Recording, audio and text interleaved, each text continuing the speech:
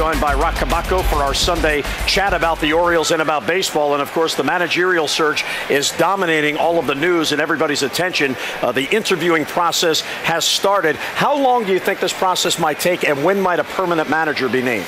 It could be longer than we anticipate. I think that whole, you know, Juan Samuel for two weeks to kind of babysit things, I think that uh, that ship sailed now. I think it's going to be longer than that. We have two confirmed interviews with Eric Wedge and Bobby Valentine last week. I checked with uh, uh, Andy MacPhail to see whether there had been a third interview because there's some rumors, and he confirmed no, that it was just those two. And now he's on the road trip to San Francisco and San Diego next week, and he doesn't intend to do any interviews while he's there either. So we're looking at now at least a week because he has got to get back to Baltimore. He has nothing immediately lined up once he returns.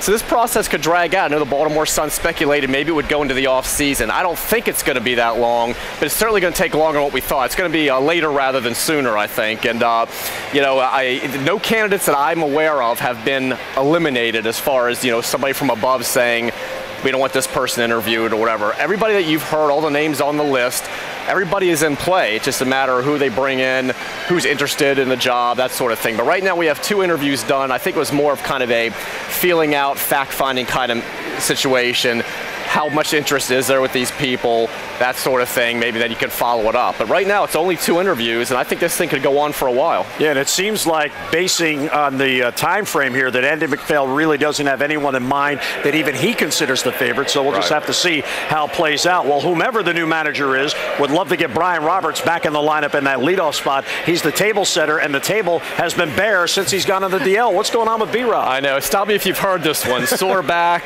epidural, shut down, re-examined. I think we did this segment in March, and I mean, not to make light of it, it's very unfortunate that here we are again. Brian had his third epidural since the spring, lower back. He's got inflammation. They keep insisting it has nothing to do with a herniated disc, and I keep insisting I'm not a doctor, but how do you know that? You know, I mean, he says it's because of increased baseball activities, but of course, this is all because of that disc. Now, we're going to reach a point very soon where the Orioles are going to have to figure out is it worth it to keep putting him through this, shutting him down, the injections, try and increase the activities again. He wants to come back and play. He's made that very clear that he thinks he's going to. But if you notice how the timetable is kind of stretched, he was eligible to come off the DL this past Wednesday. Then we thought maybe the following week. Then we thought maybe he could join the team on this West Coast trip this week. Now he said the other day, unless he misspoke, he clearly said he hopes to get in a few games toward the end of the season. So that tells me maybe we're into September now, and maybe it's a reward for him if he can finally just get back out there after all the hard work, the pain, the injections, give him some games. But you've got to figure if you're the Orioles, is it worth putting him through this? Should we just shut him down? Get him healthy for next season? Should he have surgery? And if that's the case, then you kick yourself and say, why did we wait this long? We could have right. done this a lot sooner. They, that, they want to exhaust every possibility. It's just every time he starts to make progress, something else happens. And again, three injections now, inflammation. It's almost, we're not back to square one, but we're pretty close to it. At about 11.30 this morning, I was watching Alfredo Simon on the game mound uh, doing a bullpen. They had a hitter in there just so he could simulate pitching to a batter. It looks like he's about ready to come back.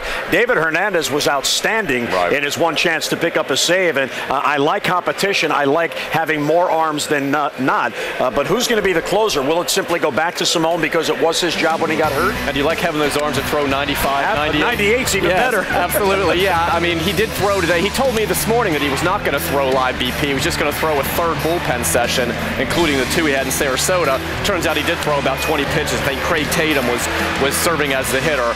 And he will be activated for tomorrow night's game, assuming there were no setbacks with the hamstring, and we don't think there were.